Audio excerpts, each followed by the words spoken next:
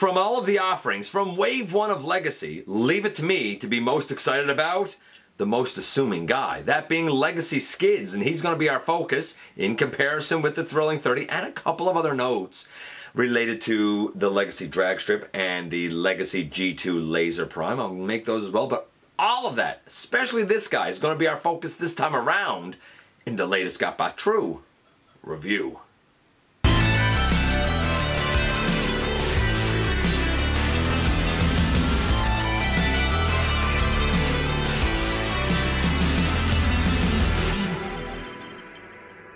One hey all, welcome back to the channel. I'm your host, your most humble of hosts, Dennis Moulton, aka Gotbot. As always, man, please like, comment, share, of course, subscribe and while you're at it loud, my baby. And hit that notification bell, please. It helps me out a ton and it lets you know when content of all sorts goes up here on the channel. Check out Machinery of Man, The Everything Factor, all the groups that I'm either a mod or an admin for, as well as all of my social media links. All of that's in the description down below also in the description down below. And if you are in a position to help the channel to grow, you can use the donate link. Check us out on Patreon. See what we have to offer to you through spring, or of course, hit the join button right here on YouTube and become a channel member. And this is Legacy Skids. Now, I mentioned in the uh, intro there that I will make a note in the video about Dragstrip. I'm going to show something when we come back here. And I make a note about uh, the G2 Laser Prime. Very, very minor. I don't have him anymore. I've returned him to Maximal 10. But it's, you'll get it. Trust me, you'll get it. Um, the focus here is going to be on this guy, and we're going to compare him to the earlier generation skids. Now, to be fair, I was never really much of a fan of the generation skids. I didn't like the limited shoulder movement, and I'll talk about that as we go through. And the coloration was okay, the alt mode was okay, but I knew it wasn't quite right. I guess it would be if you were a comics fan, but me being a G1 boy, this was more what I was waiting for and looking for.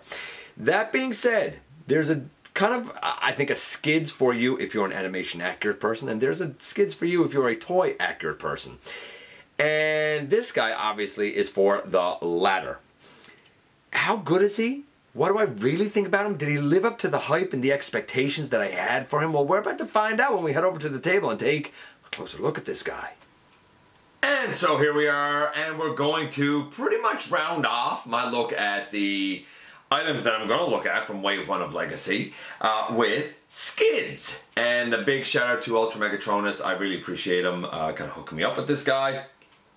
So, we've looked at so far from the the leader class, uh, the G2 Optimus, and back in Kingdom we looked at the Galvatron. In Voyager we've looked at the Bulkhead, and back in Kingdom we looked at Blaster, for the core class, we looked at Iguanus, and back in Kingdom, we looked at Rodimus, our Hot Rod. I'm not looking at the Skywarp. It's just, it's... Core Seekers aren't my thing. I don't see the point of them personally. Not that they're bad. It's just it doesn't work for me. And then when it comes to the uh, Deluxes, we looked at Dragstrip, um, who, uh, he's alright. I expected a little bit more from him. We looked at Kickback, who I think is stupendous. And now this guy not planning to look at the Arcee. You know, I, I, mean, if it comes my way, I will, but I'm not. I'm not planning on it because I don't think it looks like Arcee. But we'll see. Um, my plan is for Wave One to kind of conclude with this guy. Are we ending on a strong note? Well, we're gonna find out. But before we can get into this guy, you know what we got to do? We got to look at that packaging first. And so, yes, indeed, here we do have packaging. Uh, of course, we don't have the plastic, like, in the window anymore. I like the plastic. I, I, don't think that having just a window is asking too much, and it does kind of protect the, the guy inside. That being said, because it wasn't there, is explicitly why I was able to touch and feel kickback and like the feel of the plastic. I, I, I was enamored by the tactile sense that that's what kind of caused me to buy him. So go figure. I do, however, like the look of the vehicle down here, and I like the look of our boy over here, and the close-up on his head is really nice head sculpt. Uh, over here we have the Autobot art for the side of the packaging. It does seem like that the Autobots have specific Autobot art, the Decepticons have specific Decepticon art. Everything here is Wave 1, so I'm curious if this art will change and evolve with Wave 2, 3, and subsequently. On the back, of course, we have our um, Uh, product images in both modes as well as the accessories that are there's a lot of them and they are weird. We got ourselves some instructions and honestly, I know a lot of people have complained about these being blue, but I think that these instructions are fairly successful. I followed these pretty darn easily. And the couple of parts where it wasn't quite clear, it was intuitive uh, uh, like enough with this guy that it really didn't bother me. So decent instructions and the parts that kind of aren't exactly clear in here, I think, I feel on this mold, are generally pretty darn intuitive. Accessories wise, he comes with this weird blue Energon axe thingy. I'm holding on to a five millimeter peg. There's another five millimeter peg up here. There's a five millimeter port. I'm pretty sure that the very tippy top up here might be able to take a blast effect. I haven't tested that out to be fair, but basically, and I think there's uh, also ports on the side like here. So there's a lot of pegs and ports that I'm sure you you know can use to connect the other pieces and stuff too. Uh, hopefully in the end this this winds up being some cool looking thing. You can put his other accessories on with this. it's arguable if it looks good.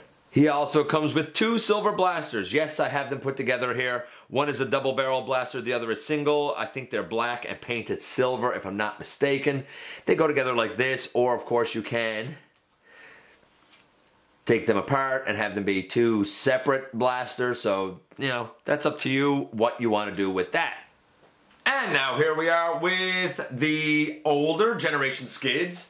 And the, of course, new Legacy 1. I mean, this is the elephant in the room that we kind of got to talk about. Some people, I think, that are big fans of the comics might be drawn and gravitate to the Generation Skids better. I bought it. I was never a huge fan of the mold. I I got it because I liked Skids.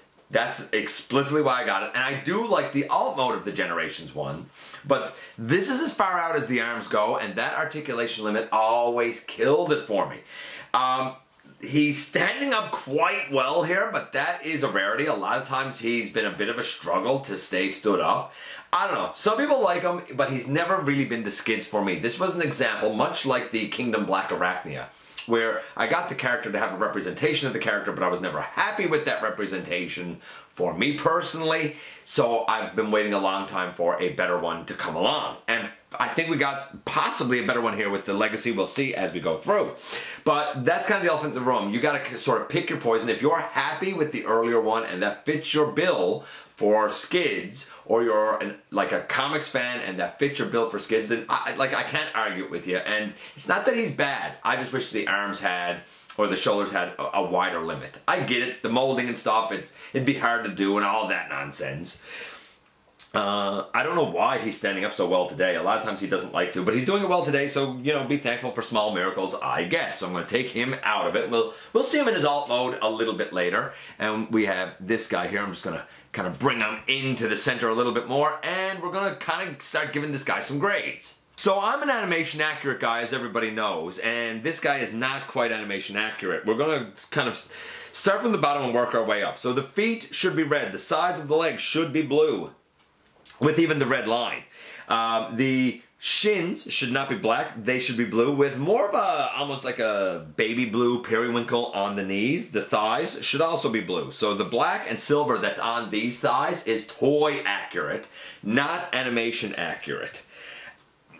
I mean, fine, I guess. I'm not a toy accurate guy, so I wish that they were blue. To be fair, there are people who would say, hey, if you want a toy accurate version of Skids, get the Legacy. If you want an animation accurate version of Skids, get the Masterpiece. This one is a deluxe size, that one is a Voyager size, basically. So, kind of pick your poison. I'm not an MP collector, I'm not an MP guy, never was. I think that that Skids looks amazing, but I'm a mainline guy, so this is what I got. Would I go through painting the legs or the lower legs? Probably not. Some people would say, hey, why don't you strip the silver off the upper legs? Because the upper legs are blue, that's silver paint. I don't know if I'd go through all of that effort for skids. The pelvis with the black and red is accurate. The um, whole like torso section, even with the Autobot symbol, all that's accurate. The head is accurate. The windshield behind his head is accurate. The door wings are accurate, even with the red stripe. The um, Hands should be red. The arms being blue is accurate. Uh, the tires and whatnot, like they're pretty accurate. The head is quite accurate. So, toy accuracy, 10. Animation accuracy for a guy like me, it's about an 8. Like, it's it's got the skid silhouette and body type, but it doesn't, you know, the legs really are a bit different. Now, that being said, I, I'm not hateful toward it because all of the blue might be too much blue, arguably, so having it broken up like this, I'm okay with. like I said, if you really, really, really want that animation accuracy and you're an MP guy, go with the MP. So an 8 for the coloration. 10 if you're a toy accurate guy. Shout out to Input, because I know that he would probably give this a 10 million because of that one feature alone. Uh, the items, they can all go on either in his hand or there are ones on his forearm, so you can like always put that one up there, for example. I already showed how the two blasters go together. They're both 5 millimeter ports and they can go either up on the arm or in his hand as well. There are also 5 millimeter um, ports on the side of the legs and on the back here and I think yeah down on the like toes of the feet. So he can take like fossilizers weaponizers that sort of stuff. Let's talk about the articulation. The head is on I'm gonna say ball joint. Looks up down a little bit of a wiggle. Uh, can go all the way around. The doors are on hinges. They can kind of open and close. The we'll talk about the shoulders last. There's a waist uh, rotation, which is very nice. We have nice deep ankle tilt, really dig that. Uh, we have hips all the way, all the way? Pretty sure all the way. Maybe not all the way. Mm, not all the way, but pretty darn close to all the way out to the side. Uh, we have leg forward on, pretty sure that's a universal. Uh, same back there, pretty tight, very nice. We, do we have a wrist? I don't, oh we do have a wrist, nice. Uh, we have an elbow to 90 degrees, which I think is fine. We have a bicep swivel. Then we get to the shoulders, and the shoulders are kind of bonkers because, okay, so the shoulder can go up and down because this section here doesn't seem to really lock in. Having it down would be honestly a little more animation accurate because his arms were kind of low down on his body for some weird reason. But you can also get his arm way up over because of a very weird hinge here. Now, that being said, if you want the arm to go forward, there's like a, a black false tire piece behind a, a rotating tire piece, and that goes into this blue piece and gives you your forward motion. If your shoulder's down, well, obviously your arm is forward at a bit of a weird angle. Now you can turn the bicep, but it is what it is. If it's all the way up, I mean, he can shield his face because it's all the way up. Um, it's exceedingly versatile, but a very strange way of doing it. It seems like it's all hinges and swivels. I like it. It's very unique form of doing the shoulders. And some people might be frustrated and say, why don't the shoulders lock in? But I feel like that at least on my copy, they're toleranced well enough that they're staying in whatever position you put them in at whatever angle you're doing it. Like, they're not moving. Any way you do it, they are not moving. And I feel like it's probably a successful way of doing it. That being said, if the tolerance is off even a little bit, I could see these shoulders being a nuisance. They work. They're great. They're innovative. They're different. But they're only going to work if you make sure to have uh, the tolerances like mathematically worked out absolutely correct. As it is, all the articulation is there that I could possibly, possibly want, and even then some because of these unique shoulders. I'm giving it a 10. I love it. So we have an 8, we have a 10 overall, a 9 so far. Let's do the transformation now. A lot of people have said that this guy doesn't tab in all, uh, you know, all that well. He does, but you got to be really specific with it because everything absolutely needs to be compacted to its nth degree, and you've got to make sure everything is lined up just right. So it's a bit of a specific one. hopefully, hopefully, I'll be able to do this better than I did the Dragstrip one. I apologize about the Dragstrip one because I kept wanting to collapse his legs first, and you really got to do the upper body first. I'm going to give, by the way, two updates here right now as well. I said that the uh, Dragstrip shoulder was limited in its outward mobility uh, because of the shoulder pads. And if you kind of mistransform the shoulder pad, you could get all the way out. What I didn't realize at the time is that you can actually just tilt the shoulder pad um, so that it's kind of like in a little closer to the head and that gives you just enough clearance to get the shoulder out the whole way. So my criticism I made in the Dragstrip review about the shoulder pads is not altogether accurate. I still wish they had treated the shoulder pads better than they did. I don't know, bring them down on his back or something.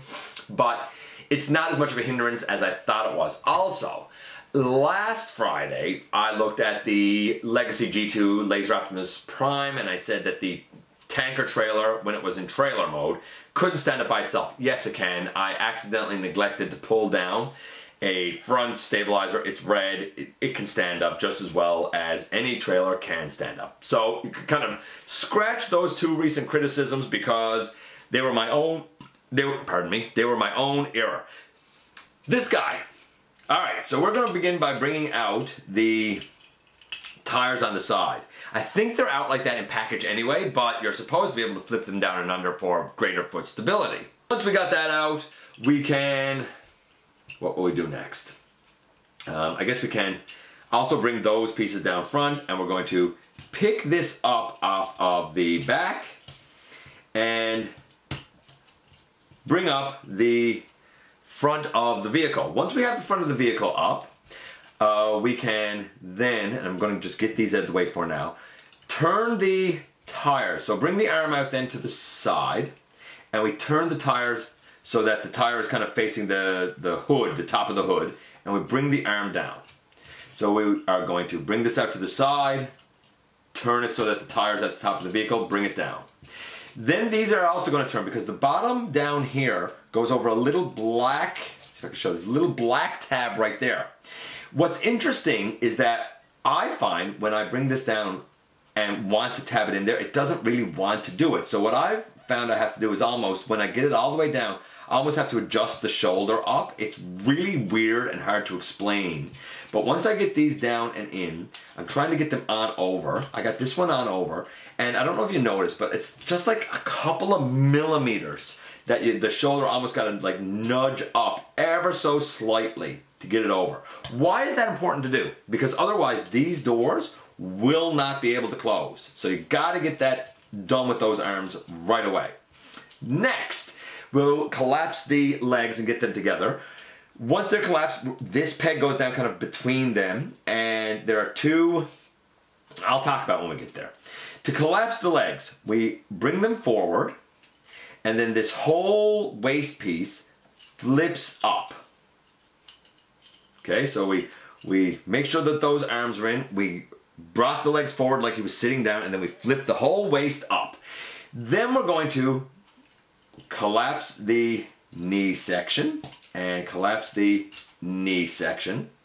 I'm going to put these together now. And now I start to kind of squeeze everything in together good and close. Make sure that all of that is down underneath there. This piece here will come back and like I said, there's a round peg in there that kind of comes down in between the legs back here and there's two little rectangular tabs back here that two rectangular ports go down over. I find one of mine does not like to necessarily go down so I really kind of got to squeeze it um, quite a bit to, to make it happen. So I do all of that, get all of that down, make sure that I get there, all of that in and down. So yeah, you gotta squeeze it just a little bit, but I and some people before anybody says like, oh, but there's clear plastic on here and the doors. Again, I mentioned this with kickback. I find, unlike for example Studio Series 86 Jazz, I find the clear plastic here is thicker and far more robust. I don't feel any problem with it. I don't have any stress marks. I don't nothing. It feels very very solid. It's it's good quality clear plastic. We close in the uh, doors on the side and that's it, boom. But you gotta have everything absolutely perfect. Here we have Skids in his vehicle mode. And here we have both of our boys in their alt modes. Not gonna lie, I don't exactly remember what Skids' official alt mode was, but I know that when I got the Generations, I was like, yeah, it's still cool that this is a very unassuming alt mode that could be parked in a driveway on my street. But it does feel a little sporty. It feels more like a hatchback. It's not hatchback. It's not exactly like the more like minivan, boxy type of look of the G1 to me. But I had no other skids. What are you gonna do? I said at least it's blue with the red and the white, right? This rolls well. Again, the accessory storage is pretty lame. I did like the, the red on the tires though. So there is a charm to this. It's just that I didn't like it because I didn't like the difficulty with him sometimes standing and I didn't like the um, limitation of the shoulders, though I do like the shoulder pods. He does roll great and underneath it's pretty wild looking um, kind of mode and bits and pieces. It looks like an engine, but it doesn't look like a robot. Hides it pretty well, so I actually really like that about this one. But it's obviously a very different take. I'm not a comics guy, so this one's not for me. I do like the black windows. I do like the black windows here, though. Keep that in mind. So we're gonna move him aside and kind of get this guy in here a little bit more. I love the look of this alt mode. I really do. Again, it's too bad that the accessory storage is this pathetic, I guess. I don't need this on the side or this on the side, and I certainly don't need this on the top. Now you can, I guess, put the accessories in however you like. On the back, real plain. I wish we had tail lights. I wish we had some more detail painted back here. I think that's a shame. Uh, but there's a ton of detail on this guy in terms of paint. I mean, all of this being clear plastic is all painted, so I respect that. Hopefully it holds up. I do like that there's a molded in looks like edging detail for a gas tank cover, gas cap. But it's on both sides, which I find strange. Uh, we do have a nice grill done with the yellow headlights, so I really like that. I think the transformation is brilliant. I really, really do, and I absolutely love it. Uh, some people that have said, oh, I can't get it all tabbed in. You gotta just make sure that you got everything done really, really perfect. I think the transformation is a solid 10. He was getting a 9 the transformation's a 10. Honestly, I think the legacy skids, though I would say he's probably $10 too much here in Canada, like instead of being, you know, $35.99 Canadian, and I'm using that as an average price, I think he's more like a $25.99 Canadian uh, offering. Instead of being $24.99 US, I think he's more like a 20, maybe $21.99 US. But he's quite excellent. On the whole, he's a solid 9.5. This is a fantastic skids. Plus, there's even now an upgrade kit, if you're so inclined, that gives him the little scooter thing that came with the real vehicle. Where you're supposed to store it on this, I'll never know. And here we are once again, and here he is, and I think this is my skids of choice. Now, again, to be fair, this is a toy accurate version rather than animation accurate. I would like to potentially do the custom work, but I really don't want to try and match that blue, so I might leave it the way it is. Some people will prefer breaking up the sea of blue with the silver and black. I totally, totally get that. Uh, there's an appeal, therefore, for sure. I don't have any stress marks on anything on mine. Um, eh, the shoulders, they work great if there's a tolerance issue and it's loose, I could see that totally ruining it. So it's very important that the tolerances are perfect there. There's an argument for getting the masterpiece. There's an argument for getting the mainline, depending on what exactly you're looking for. Some people that are big comic book fans will prefer to keep the Generation Skids. Not me. This is kind of what I've been waiting for. I wish it was a little more animation accurate, but this is what I've been waiting for, and I'm super happy with it. Just of interest and note, the point that I was trying to make about Dragstrip. These shoulder pads I had left up straight like this, but you can put them in, and when you put them in closer to the head, the arm extends all the way out rather than, and it's not much of a difference, but there's a slight difference. So yeah, you can get it. You can get it. I still think these should have gone down on his back, but you can get it, and it does make him a little bit better. I can't show the stabilizer on the trailer of the Laser Prime. I gave that back to Maximal 10. Sorry, but it's a stabilizer on a trailer. It is what it is. I digress. Back to this guy. I think the articulation is very interesting and innovative. I think that the um, transformation is brilliant and fun and enjoyable. Admittedly, the first maybe two times I did have trouble kind of tabbing in the hood or the roof section. That seems to have, uh, I've seemed to have finessed it a little bit more. It's a little bit easier now than it was because I think I just kind of worked it a little bit. Everything seems to tab in great now, but you do have to have a very, very specific. I think he's an absolute win, and I think he's one of the strongest from Wave 1 of Legacy, at least in my estimation. Maybe a little overpriced in Canada by about $10, a little overpriced in the US by maybe 2 or $3, but quite good nonetheless. Let me know what you think about Legacy Skids. I appreciate you guys coming by, give me some of your extremely valuable time. I do know how important it is to you. If you're in a position to help the channel to grow, you can use the donate link. Check us out on Patreon. See what we have to offer to you through spring, or of course hit the join button right here on YouTube and become a channel member. Don't forget to also hit the subscribe button, stick around, have some fun with us here on the channel, and especially don't forget that somehow, some way, each and every single solitary day, you do make a difference, and I look forward to the next time that you and I get together to have another visit, either in the live streams on Thursday nights at the stop motion premieres or the old fashioned way, right here, inside the videos.